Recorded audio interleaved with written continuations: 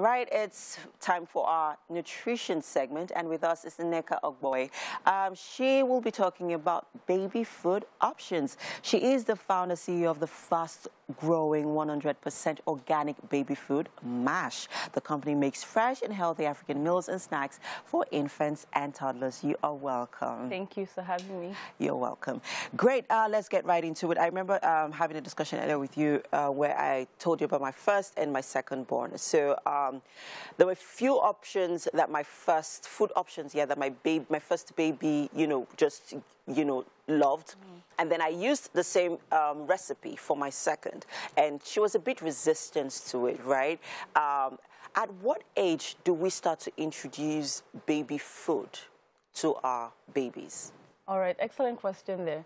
Um, it's six months. I know some people start earlier. Some oh, for my first, later. I started five months. Yeah. Then my second, four months. Yes. So usually four to six months, but it's recommended to start at six months. That's when they need it. Okay. And these foods need to be safe and adequate. So safe meaning, obviously, you prepare them safely, they're mm, clean, mm, mm. but adequate meaning they have the right kinds of nutrition that they need. Mm. So you're talking about your second not really accepting what your first absolutely -hmm. loves. And this is the fun part about kids every child is different. Even twins are different, right? So what works for one might not work, work for, the, the other. other.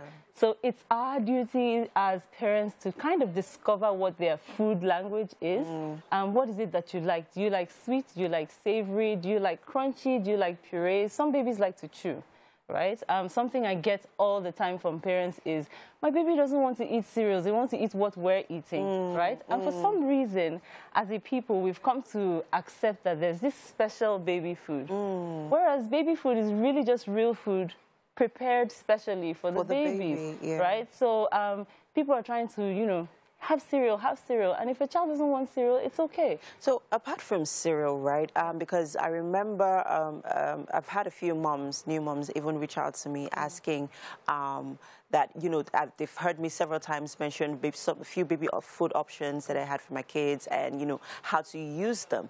So there's usually that challenge of what to first introduce their babies to, which is a challenge.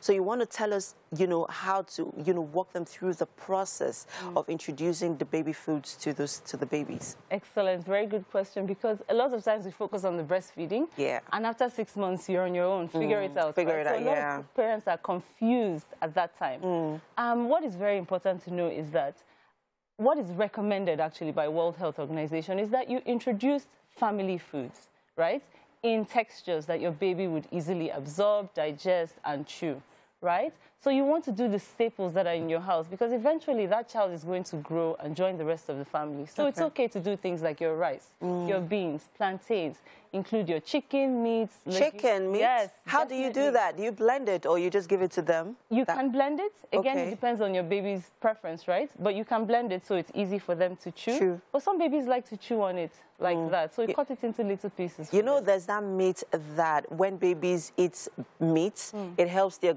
their teeth to grow faster.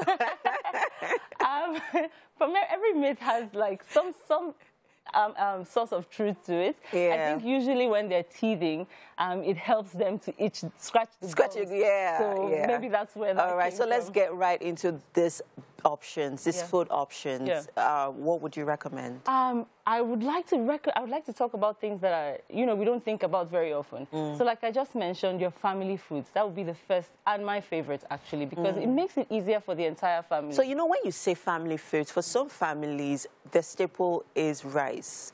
It's an everyday staple, mm. right? Some families do not know that they need to incorporate other um, um, other um, classes of foods mm. into their diets. Mm, yeah. So um, we need to be quite specific. Yes, so when I'm talking about family foods, I'm talking about the typical Nigerian staples you have at home. There's no reason why your child cannot enjoy a one bowl of Niger jollof.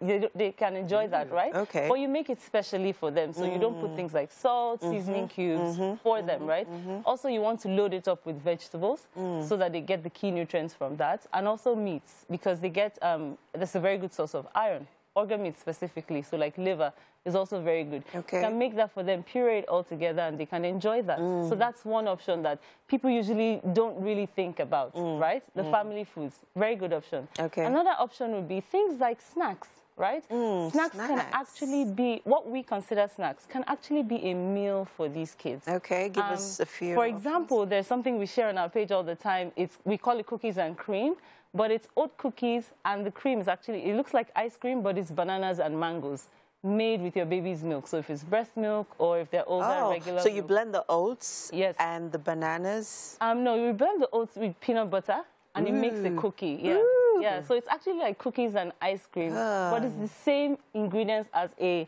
you know, healthy bowl of oats that you have in the morning. Yeah, I know someone listening right now is, you know, um, how do you know that you are not giving your child too much sugar? Very good question kids under the age of two do not need any added sugars.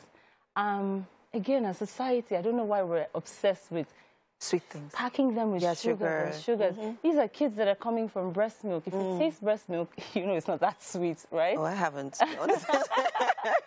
so they don't need any of that, and actually for their health, it's, it's actually not good for mm, their health. So mm. before the age of two, they don't need any added sugars. Mm. You can use things like your fruits your bananas, your pineapples, your papaya. Those are the places that they get the sugars that their body needs, needs. with nutrients attached to them because mm. they're growing, so they do need those key nutrients. All right. So now let's address a few meats, mm. right? Because there's so many uh, of them, right? One is um, agbo we need to let people know. So you're, you're the expert here. So what would you advise in that regard?